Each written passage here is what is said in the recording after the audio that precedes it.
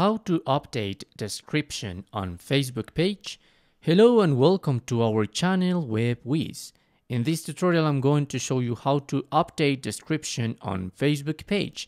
So please watch till the end to properly understand the tutorial.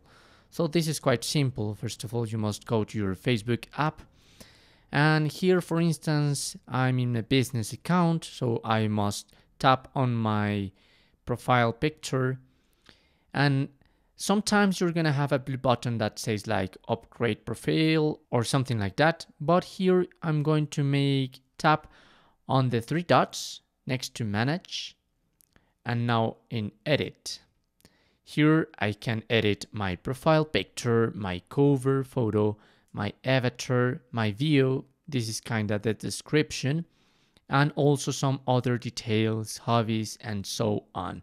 Even to add some links if you want. And I'm going to make the example with another account. So here, as you can see, if I tap in my profile picture, I'm going to have that blue button, update profile. So if I click on it, I can add a current city if I want, like, like complete all my data. I'm gonna skip this by now to add your hometown.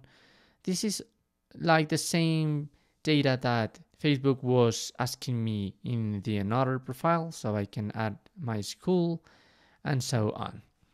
By now I'm going back and I'm gonna show you that this is kind of probably the same I'm to stop this process because if I tap because if I tap in edit profile in this opportunity is not going to appear in the three dots but in edit profile I'm going to have the same data. So here in details I can add my current city, workplace, education and so on. So this is how to update the description on Facebook page. Thanks for watching.